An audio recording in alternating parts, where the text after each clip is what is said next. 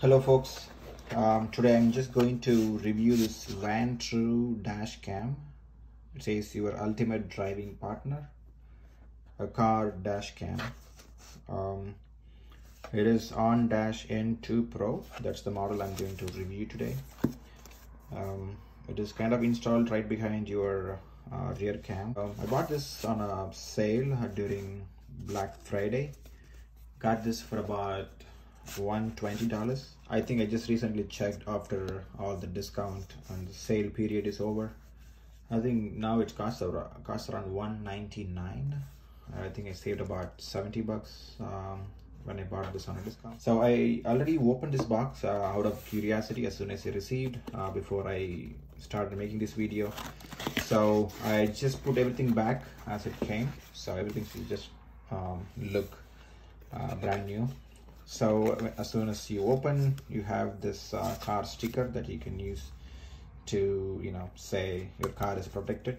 I don't know what um, what good it makes. Uh, if you like it you can just add this into your car and as usual it comes with the quick start guide.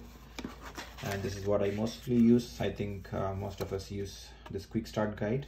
And and rarely anyone goes through this long i think it's about 30 pages in english and also has another language and ends up in keep this handy so it might uh, be useful at some point.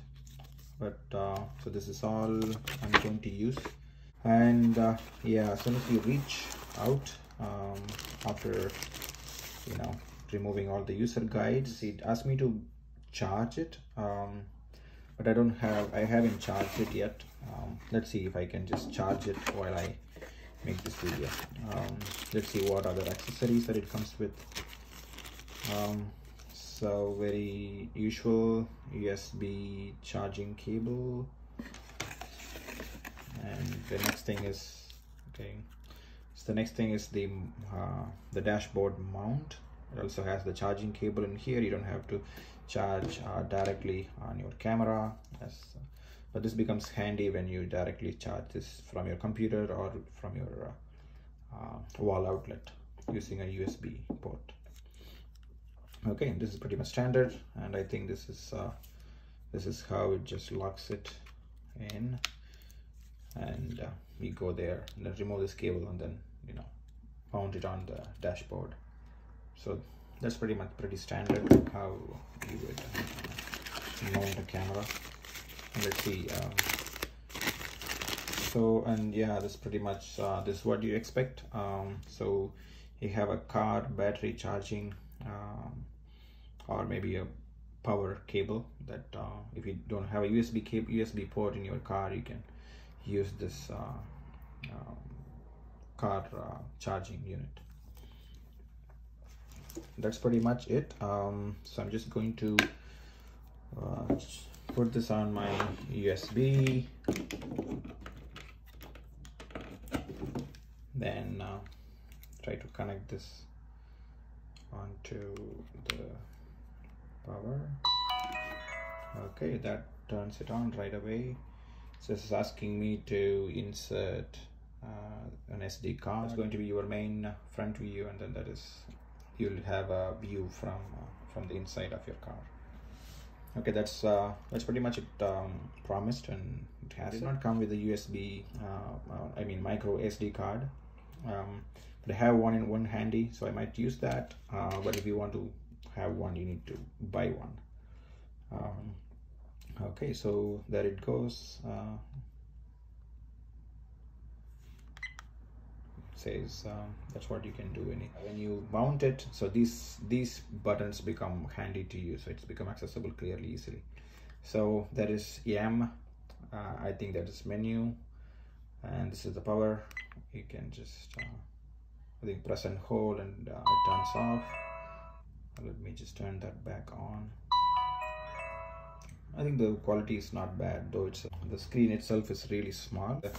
On the cover it actually says it's 1.5 inch LCD screen. It records 30 frames per second. And it's a 1080p front and back. Uh, has a 140 degree wide back lens. It says emergency protect parking monitor. Um, maybe the emergency protection is if you are in the crash it uh, it uh, turns off the override permission of that particular. I press this menu m button uh, down here you, access like right and left uh, so system setup and gps setup let's see what it does i press m again it's asking for uh, insert sd card uh, let me put my uh, SD card in there and see what kind of options that it shows up after I put the card in. Okay, let me just turn it off. So this is your front camera and this is your bag. You can adjust uh, which part of your car you want to uh, focus on. Right above the power cable uh, port. So just, you know, use your nails uh, to open this up and then this is where you put your SD okay with that uh, let me turn on press and hold. So the battery is low so it's not connected to the power. Let me put that back in so yeah that's good. Start recording automatically. You use this to go to the menu and then left right. But if you want to select something just go. Um, okay. let's see what uh, record setups we have. So we can choose the resolution in here. 1080p with 30 frames per second. Just to just you know lock and uh, move your angle of uh, the camera view. I think this is interesting. Um, i need to just download one of the videos and see how the quality looks like. Otherwise i'm impressed with uh, i always have wanted to have one um, dash cam and never had one. But this time i got it for 120 just wanted to give it a try and see if uh, if this is really helpful. I think um, since the original price is 199 dollars that i see right now on amazon um, i think it's, it's a good buy. And i can record not only just for the crash or uh, you can also record the scenery when you drive through and you want to just record any you know uh, city view when you just go through that steady view of your driving um, overall, it's a very nicely built uh, dash cam um, with uh, front and rear view. I think overall it looks really good. I would recommend just by looking at it and, uh, and the feel of it. Uh, it's OnDash N2 Pro from Vantrue.